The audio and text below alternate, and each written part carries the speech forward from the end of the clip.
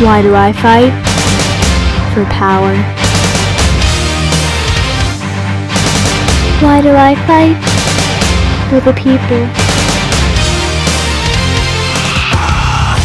I'll take you on. I'll show her the light. I'll drown her in darkness.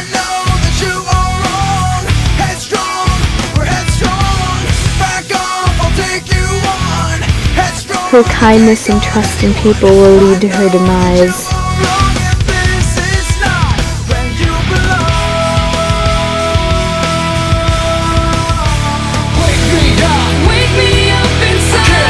What are you planning on doing to my people now? They'll become my slaves, and if they disobey me, the harshest of punishments shall be awaiting.